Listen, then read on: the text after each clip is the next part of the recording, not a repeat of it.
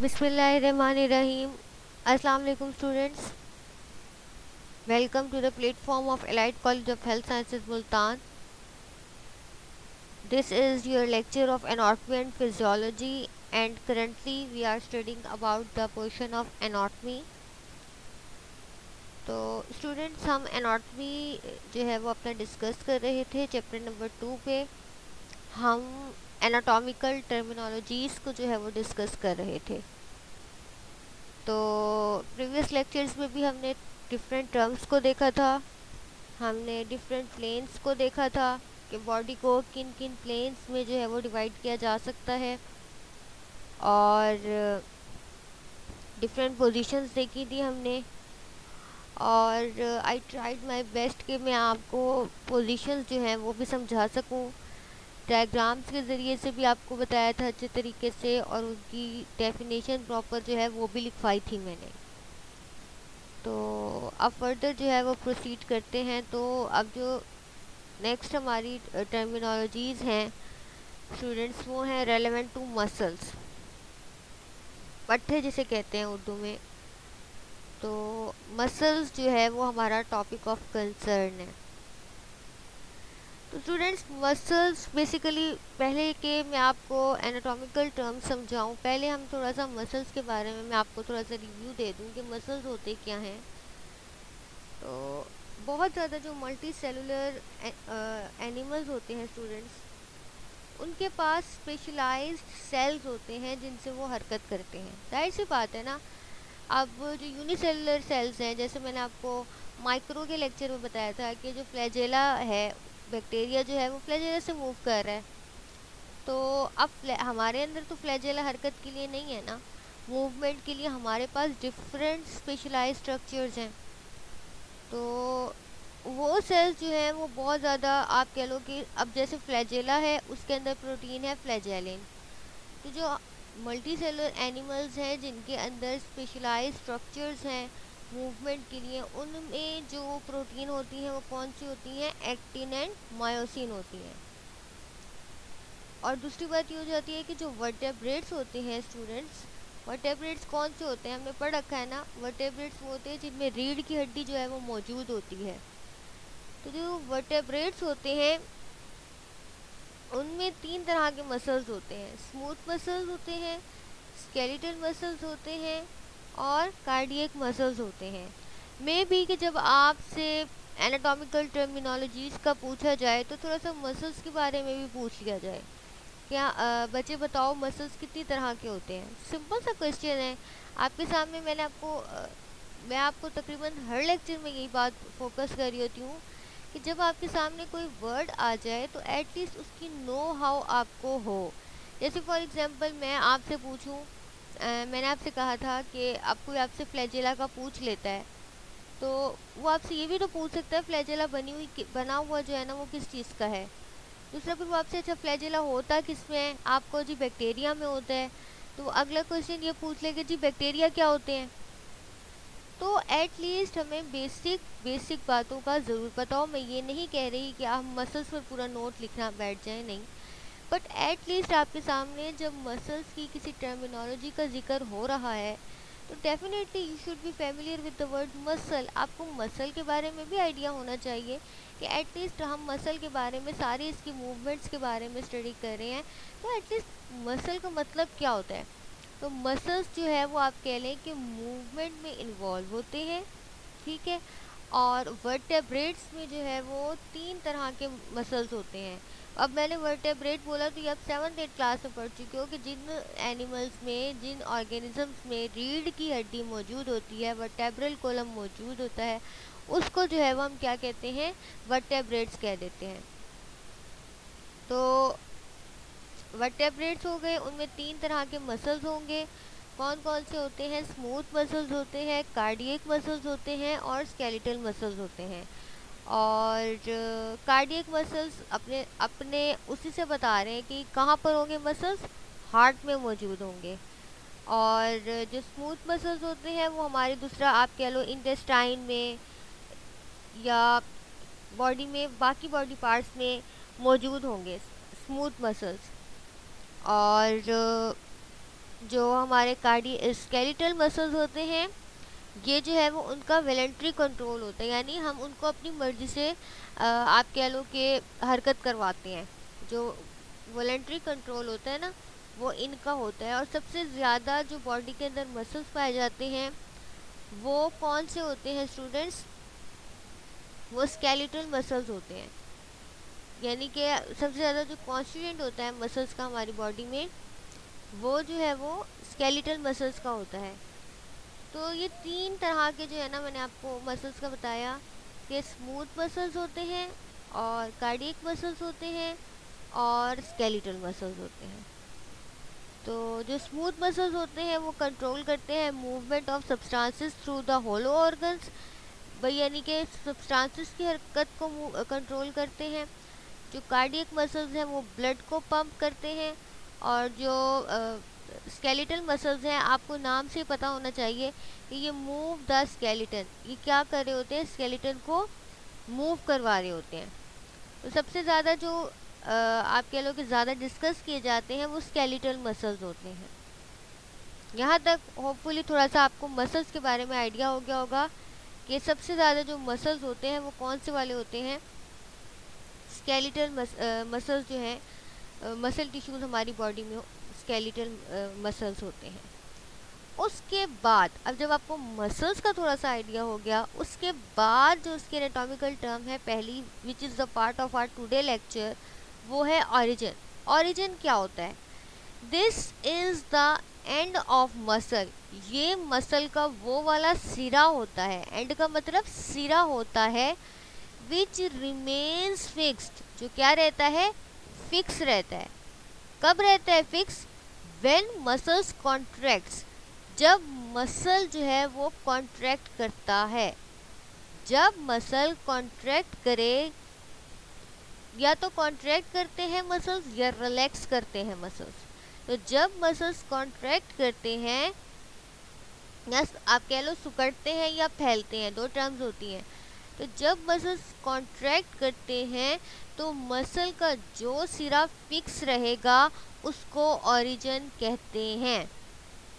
हमेशा वो पॉइंट जो फिक्स रहता है चेंज नहीं होता, हरकत नहीं करता, उसी को हम ओरिजिन कहते हैं। और इंजर्शन क्या होगा? ये इसका आप कह लो कि दूसरा जो टर्म है मसल के, वो है this is the end of muscle that move the bone ये वो पार्ट होता है मसल का जो बोन को क्या करा रहा होता है मूव करा रहा होता है। तो यहाँ पर ये थोड़ा सा स्केलेटल मसल्स के हवाले से मैं आपको इस पर फोकस करूँ कि जो मसल का एंड बोन को मूव करा रहा होगा, क्योंकि मैंने स्केलेटल मसल्स की बात की है ना, कि स्केलेटल मसल जो है वो मूव कराते हैं स्केलेटन को यही बात मैंने आपको बताई है ना, कि स्केलेटल मसल्स क्या करा रहे होते हैं मूव करा रहे होते हैं स्केलेटन को तो जो सिरा स्केलेट मसल का मूव करा रहा होगा बोन्स को स्केलेटन से मुराद बोन्स ही होती है ना तो जो भी आप कह लो कि एंड मूव करवा रहा होगा बोन को, उस वाले को हम कहेंगे इंजर्शन जो फिक्स होगा वो ओरिजिन जो मूव करवा रहा होगा बोन को, वो इंजर्शन सिंपल सी एक मेरे टर्मिनोलॉजी और कुछ टर्मिनोलॉजीज और कुछ डेफिनेशंस जो है वो आपके नोट्स में एज इट गिवन नहीं है। तो अगेन आप लोगों से आपकी भलाई के लिए ही ये एडवाइस है कि इनको जो है ना साथ के साथ नोट डाउन कर लीजिए। अब ये ज़रा इसकी अपना पिक्चर देख लीजिए जो आपके सामने डिस्प्ले हो रही है। कि यहाँ पर आपको बहुत अच्छे से क्लियर हो जाएगा। ये देखो ये हमारे पास एक जैसे हा, हैंड है फोर लिम्ब है हमारे पास अपर लिम्ब है। इसमें आप देखो कि जो एक सिरा जो शोल्डर के पास है ये जो ये वाला पार्ट है ये वाला एंड है मसल का इसको हम क्या कह रहे हैं? ऑरिजन ये फिक्स होता है। और ये वाला सिरा जो हरकत करा रहा होगा बोन को इसको हम इंजर्शन कहेंगे। तो बहुत बहुत इजी सी डायग्राम है इसको बनाना भी मुश्किल नहीं है। तो ये जो सिरा फिक्स है, ये ऑरिजन है, ये जो सिरा बोन को मूव करा रहा है, इसको इंजर्शन कहेंगे। और एक और चीज़ यहाँ पर आपको देखो प्रोक्सिमल और डिस्टल को भी मैंने क्लियर किया हुआ है कि जो towards the origin towards the origin जा रहा है, इसको प्रोक्सिमल कह रहे हैं। जो अवे फ्रॉम द ऑरिजन जा रहा है, इसको डिस्टल कह रहे हैं। ये देखो, सही है? तो ये हमारे पास एक ओरिजिन की और ये इंजर्शन की जो है वो आपको होपफुली uh, समझ में आ गया होगा कि ओरिजिन और इंजर्शन में क्या फ़र्क होता है। ये डिफरेंस पूछा जा सकता है वाइवा का important question define origin define insertion और इसी तरीके से जो टर्मिनोलॉजीज पहले पढ़ाएँगे वो फिंगर टिप्स पे आएँगी तो वाइवा क्लियर होगा। अदरवाइज़ वाइवा में आप फंस जाओगे अगर आप टर्मिनोलॉजीज को इम्पोर्टेंस नहीं दोगे these are quite important lectures तो please try to listen them carefully and write the important points on your registers next is belly belly is thick fleshy part of muscle thick सा fleshy part होता है flashy किसे कहते हैं? गोश्त को कहते हैं। फ्लैश से निकला ये। फ्लैश किसे कहते हैं? गोश्त को कहते हैं। तो ये thick fleshy part of muscles होता है between origin and insertion which contract यानी जो मसल का पार्ट कॉन्ट्रैक्ट करता है, वो ऑरिजन और इंजर्शन के दरमियान में होता है और उसको जो है हम क्या कहते हैं? बेली कहते हैं। समझ में आ गई? फिर है हमारे पास tendon tendon attach muscles tendon attach करता है किसको? मसल्स को। किसके साथ अटैच करता है? बोन के साथ। और ये क्या होता है? नॉन इलास्टिक होता है। क्या होता है ये?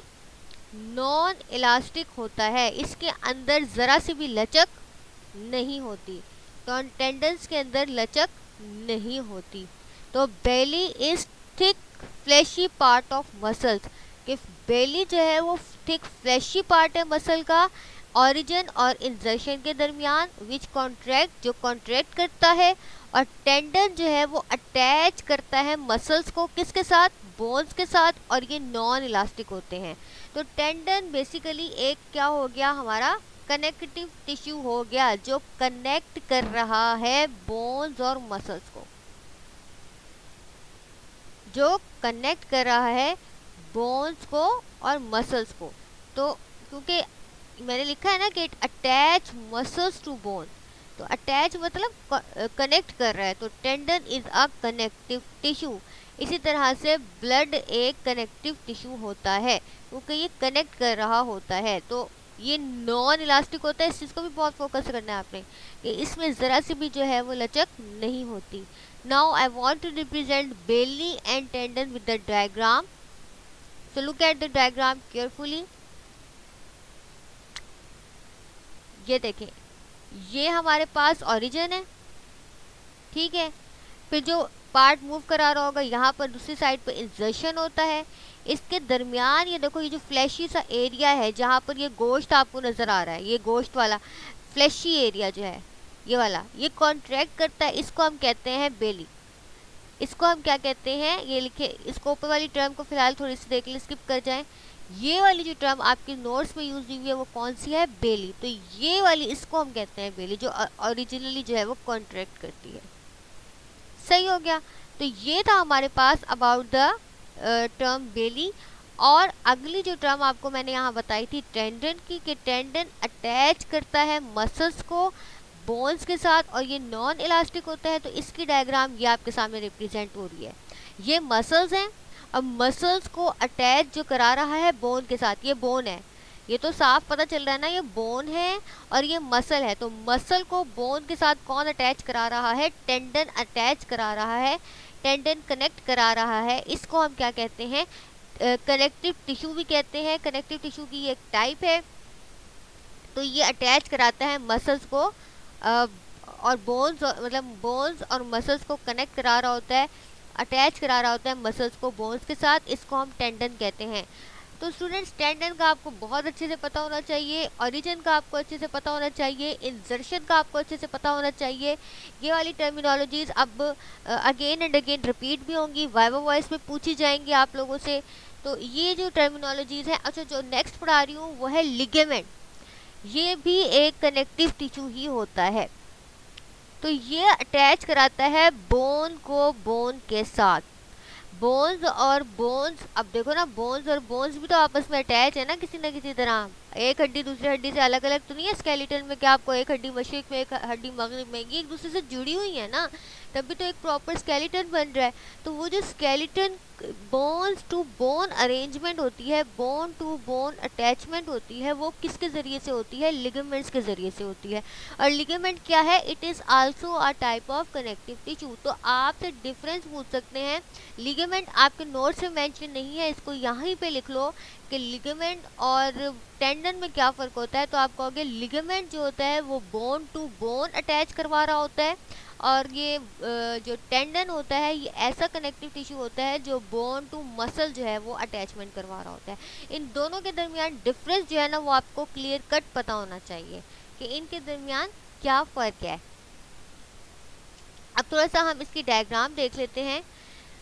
ये देख लीजिए कि ये मसल्स हैं और मसल्स और ये बोन इनके दरमियान क्या आ रहा है? टेंडन यानी मसल्स को बोन के साथ कौन अटैच करा रहा है? टेंडन और फिर अब नेक्स्ट देख लीजिए, ये बोन है और ये बोन है. टू बोन टू बोन कौन अटैचमेंट करवा रहा है? ये लिगामेंट करवा रहा है. लिगामेंट आप कहोगे नॉन इलास्टिक होता है और सॉरी स्लाइटली इलास्टिक होता है. लिगामेंट जो है वो स्लाइटली इलास्टिक होगा. बट जो टेंडन होता है वो नॉन इलास्टिक होगा। Again I am saying ligament जो है वो स्लाइटली यानी थोड़ा सा इलास्टिक होगा बट जो टेंडन है वो बिल्कुल भी इलास्टिक नहीं होगा। ये दोनों के दरमियान फ़र्क है। दोनों ही कनेक्टिव टिश्यूज़ हैं। कोई आपसे पूछ ले कि what is the difference between tendon and ligament ये क्वेश्चन जो है वो आपके पास आ सकता है। तो आपको ये पता होना चाहिए कि both are connective tissues but the difference is between them is that tendon जो है वो attach muscle to bone and ligament attach bone to bone and ligaments are slightly elastic and tendons are non elastic तो ये एक बहुत अच्छा सा MCQ भी बन सकता है, ये बहुत एक अच्छा सा आपका क्वेश्चन भी बन सकता है। नेक्स्ट इज़ लिगमेंट्स हो गया और लिगमेंट्स की जो है वो हमने डायग्राम भी देख। ली नेक्स्ट इज़ ज्वाइंट ज्वाइंट का तो आपको खुद भी पता होगा कि ज्वाइंट्स क्या होते हैं। ज्वाइंट्स अगर वेयर बोन्स मीट ज्वाइंट्स होते हैं जहाँ पर हड्डियाँ मिलती हैं। हड्डियाँ जहाँ मिलेंगी तो उसको हम क्या कहेंगे? अब जिसके ज़रिए मिल रही हैं वो लिगामेंट है, लेकिन जहाँ मिलेंगी उसको हम ज्वाइंट कहेंगे। They not only hold our skeleton together ना सिर्फ़ ये हमारी स्केलेटन को इकट्ठा जोड़ कर रखते हैं but also give it the mobility बल्कि उनको जो स्केलेटन मूव कर रहा होता है, उसमें भी ज्वाइंट्स का रोल होता है। तो ज्वाइंट्स हमने तीन तरह के पढ़े हुए हैं।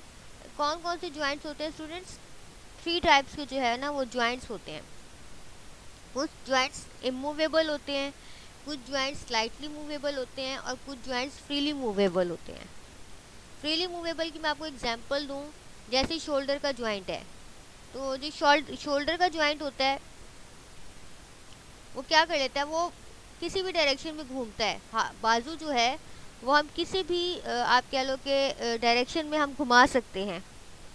तो ये एग्ज़ाम्पल होता है बेसिकली जो सेवरल डायरेक्शंस में मूव कर सकता है।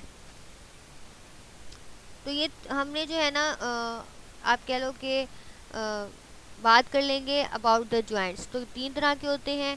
हमने कहा कि कुछ जॉइंट्स जो है वो इमूवेबल होते हैं, कुछ स्लाइटली मूवेबल होते हैं और कुछ जो है वो फ्रीली मूवेबल होते हैं। उसके बाद है हमारे पास थोड़ा सा मैं आपको जॉइंट की ये ये डायग्राम है। इसमें बहुत ज़्यादा आपने स्ट्रक्चर्स को नहीं देखना। जो कंसर्न है हमारा वो ये ये देखो, ये जो दो बोन्स हैं, ये जो दो बोन्स हैं, इनके दरमियान ये जो एक एरिया आ रहा है बोन टू बोन यहाँ हड्डियाँ मिल रही हैं। इसको ये देखो, यहाँ पे लिखा हुआ है ज्वाइंट कैविटी तो ये बेसिकली ज्वाइंट है, जहाँ पर दो बोन्स मिल रही हैं। ठीक है? तो इसको हम क्या कहेंगे? ये ज्वाइंट है। तो अगर आप ये दो बोन्स बना दोगे और ये जो पर्पल कलर का एरिया इसको रिप्रेजेंट करा के इसको लेबल कर दोगे ज्वाइंट तो आपको जो है वो अच्छे से मार्क्स मिल जाएँगे। पेपर आपकी जो प्रेजेंटेशन है वो बहुत अच्छी हो जाएगी।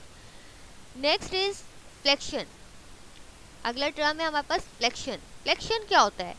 अब बेंडिंग मूवमेंट जिसमें बेंड हो रहा हो in which the angle between two bone is decrease दो हड्डियों के दरमियान एंगल जो है वो कम हो रहा हो। ज़ाहिर सी बात है, जब आप बेंड करोगे फॉर एग्जांपल अपने हाथ को बेंड करोगे तो आपकी जो दो बोन्स हैं, जो दो बोन्स हैं, उनके दरमियान एंगल कम हो रहा होगा। सही है? अब मैं आपको दिखाती हूँ कैसे कम हो रहा होगा। ये देखें। अब हमारे पास, या एल्बो होती है। जब आप एल्बो को बेंड करते हो तो जो यहाँ पर आपकी यहाँ पर ये जो हमारा पार्ट है फोर लिम का और ये जो हमारा पार्ट है फोर लिम का, इन दोनों में बोन्स मौजूद हैं। इस वाली बोन को कहते हैं ह्यूमरस जो यहाँ मौजूद होती है। तो इस वाली बोन में और जो यहाँ बोन है, इनके दरमियान स्टूडेंट एंगल कम हो रहा है। पहले एंगल ज़्यादा था, यानी जब इस डायरेक्शन में थी तो देखो एंगल कितना ज़्यादा था। लेकिन जब ये बेंड हुई है तो देखो कि एंगल जो है वो कम हो गया है। तो इसको हम कहते हैं फ्लैक्शन जिसमें दो बोन्स के दरमियान एंगल जो है वो कम हो रहा होता है। तो उसको हम क्या कहते हैं? उसको हम कहते हैं फ्लेक्शन तो आपको थोड़ा सा बोन्स का हम जब चैप्टर स्टडी करेंगे चैप्टर थ्री स्केलेटन का तो उसमें जो है वो आपको अच्छे से क्लियर हो जाएगा कि यहाँ पर जो है वो बोन होती है ह्यूमरस उसके दरमियान और जो यहाँ बोन होती हैं, उनके दरमियान एंगल बेंडिंग के दौरान कम हो जाता है और इस मूवमेंट को हम कहते हैं फ्लेक्शन और फ्लेक्शन जो है ना, वो एल्बो ज्वाइंट की फॉर एग्जांपल फ्लेक्शन जो है वो नी ज्वाइंट की तो जो ये मैंने डिस्प्ले की थी, ये आपकी एल्बो है। और ये जो है वो हम अपनी नी कह सकते हैं कि ये देखें अगर ये नॉर्मल है जैसे आ, आप कह लो पोस्चर तो जब ये बेंड करोगे तो जो एंगल है वो दो बोन्स के दरमियान क्या हो जाएगा? कम हो जाएगा। तो इसको हम कहेंगे फ्लेक्शन तो ये हो सकता है फ्लेक्शन ऑफ़ एल्बो ज्वाइंट भी हो सकता है और फ्लेक्शन ऑफ़ नी ज्वाइंट भी हो सकता है। बोथ आप ज्वाइंट्स में फ्लेक्शन ऑब्ज़र्व कर सकते हो। नेक्स्ट है हमारे पास टर्मिनोलॉजी लेटरल फ्लेक्शन लेटरल मैंने आपको कहा था away from the mid line था. ऐसा ही है ना? Away from the mid line था साइड पे बॉडी की.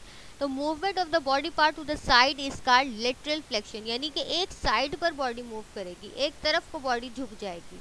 तो उसको हम कहेंगे लेटरल फ्लेक्शन क्योंकि लेटरल मैंने कहा था आपको कि ये जो है वो away from the mid line जा रहा था. तो अगर बॉडी एक तरफ़ को मूव कर रही होगी तो उसको हम कहेंगे लेटरल फ्लेक्शन बोलेंगे. तो इसकी भी मैं आपको पहले डायग्राम से और अच्छे से क्लियर कर दूँ, ये देखिए। अब ये बॉडी बिल्कुल स्ट्रेट खड़ी हुई है और ये जो हम इसको आप कह लो कि जो दो पार्ट्स में डिवाइड करती है, वो मिड लाइन होती है। तो जब ये एक तरफ़ को, एक साइड को बॉडी मूव करेगी तो इसको हम कहेंगे लेटरल फ्लैक्शन इसको हम क्या कहेंगे? लेटरल फ्लैक्शन क्योंकि मैंने आपको जब लेटरल का वर्ड बताया था एनाटॉमिकल टर्मिनोलॉजीज़ में तो मैंने आपको लेटरल में यही बताया था कि ये जो है ना, वो कहाँ जा रही होती है? Away from the mid line जा रहा होता है। लेटरल में बॉडी जो मूवमेंट है, वो away from the mid line होती है।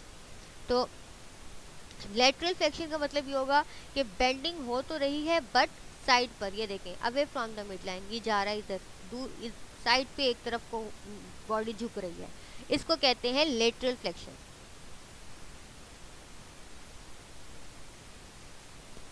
तो एक्सटेंशन क्या होता है? A movement by with the angle between two bones is increase flexion में दो बोन्स के दरमियान एंगल क्या हो रहा था? कम हो रहा था. बेंडिंग हो रही थी. एक्सटेंशन के अंदर ना जो मूवमेंट इस तरह से होगी, जो दो बोन्स होंगी, उनके दरमियान एंगल जो है वो आप कह रहे हो बढ़ रहा होगा. It means straightening the joint joint सीधा हो रहा होगा। उसमें तो हम बेंड कर रहे थे ना ऐसे। उसमें जो है वो हम ये ज्वाइंट है वो सीधा हो रहा होगा। It is opposite to flexion ज़ाहिर सी बात है, इसमें एंगल बढ़ और उसमें जो है वो एंगल कम हो रहा था तो ये दोनों एक दूसरे के ऑपोजिट होंगे। इसको मैं आपको दिखाती हूँ एक्सटेंशन भी दिखाते हैं। ये तो हमारे पास लेटरल फ्लेक्शन थी जिसने आपको बताया था कि बॉडी एक तरफ़ को जो है वो बेंड करेगी।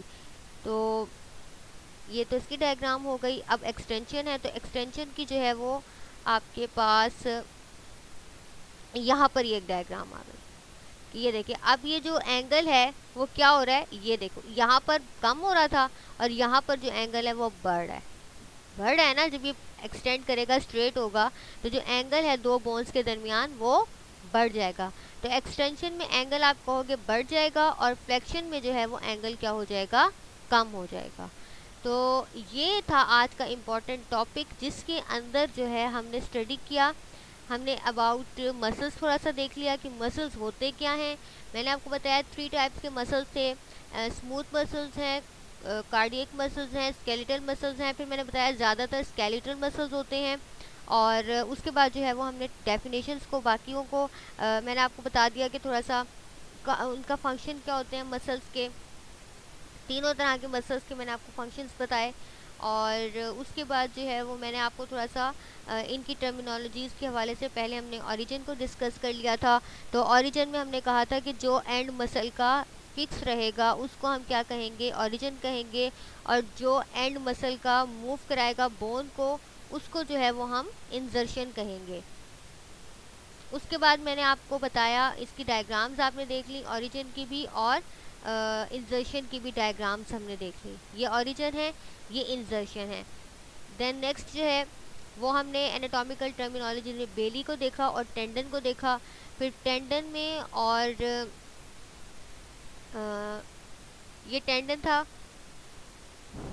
और ये बेली थी कि जो फ्लैशी पार्ट होता है मसल का जो कॉन्ट्रैक्ट करता है। और उसके बाद जो है वो हमने ये टेंडन मैंने आपको दिखा दिया था कि जो अटैच करा रहा होता है मसल्स को बोन के साथ। उसके बाद जो है वो हमने लिगामेंट्स को भी स्टडी कर लिया था कि लिगामेंट्स अटैच कराते हैं बोन्स को बोन्स के साथ। लिगामेंट्स अटैच करा रहे होते हैं बोन्स को बोन्स के साथ और ये स्लाइटली इलास्टिक होते हैं। और उसके बाद जो है वो हमने थोड़ी सी इसकी डायग्राम भी देख ली थी। कि ये टेंडन होते हैं, यहाँ पर ना अगर आप ये वाली डायग्राम थोड़ा सा प्रैक्टिस करो कि इसमें टेंडन भी कवर हो रहे हैं, इसमें लिगामेंट्स भी कवर हो रहे हैं।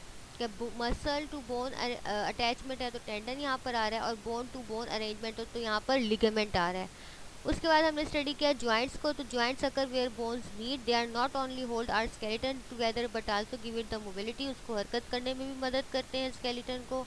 और फिर मैंने आपको थोड़े से ज्वाइंट्स की टाइप्स बता दी थी। वो आपके अपने नॉलेज के लिए थी, यानी अभी इस वक्त उसको आपने याद नहीं करना जस्ट फॉर योर नॉलेज के कुछ स्लाइटली मूवेबल होते हैं, कुछ इमूवेबल होते हैं, कुछ फ्रीली मूवेबल होते हैं।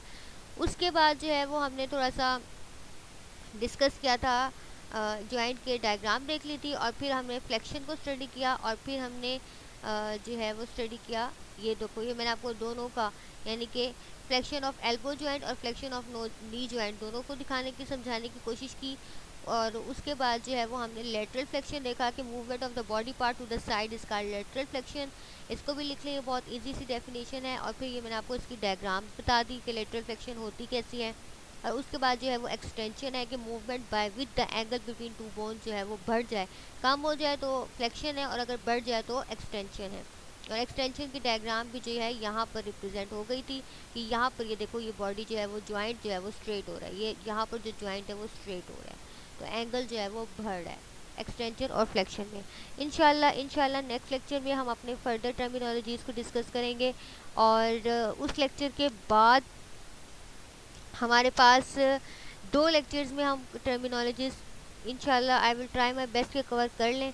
उसके बाद जो है वो हम अपना फिजियोलॉजी के लेक्चर्स की तरफ़ उसमें जो सेकेंड चैप्टर हम कर रहे थे वो जो है ना वो मैं आपको कंटिन्यू करवाऊँगी ताकि फिर उसका जो है आ, आ, हम डिस्कस कर लें फर्दर तो होपफुली यहाँ तक आपको सारी टर्मिनोलॉजीज क्लियर होंगी स्पाइन पोजीशन का और हमने जितनी भी पोजीशंस पढ़ी प्रोन पोजीशन थी और फिर जो मैंने प्लेन्स पढ़ाए हैं और जो anterior posterior dorsal ventral lateral mid line median इन सब का आपको होपफुली अच्छे से अब क्लियर हो गया होगा।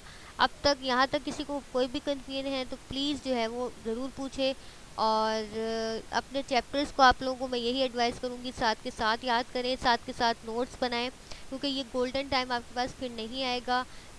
आप लोगों के ये बहुत अच्छा मौका है कि अपने नोट्स ही बना लोगे, साथ के साथ याद भी कर लोगे। और ये जो बेसिक्स हैं जब बेसिक समझ में आ जाएँगे तो आगे जो कम्प्लेक्स लेक्चर्स आएँगे, आप कम्प्लेक्स चैप्टर्स आएँगे, वो भी समझने में आसान रहेंगे। तो होपफुली यहाँ तक सब कुछ क्लियर होगा। इन नेक्स्ट लेक्चर में फर्दर प्रोसीड करेंगे। Thank you so much students Allah हाफिज़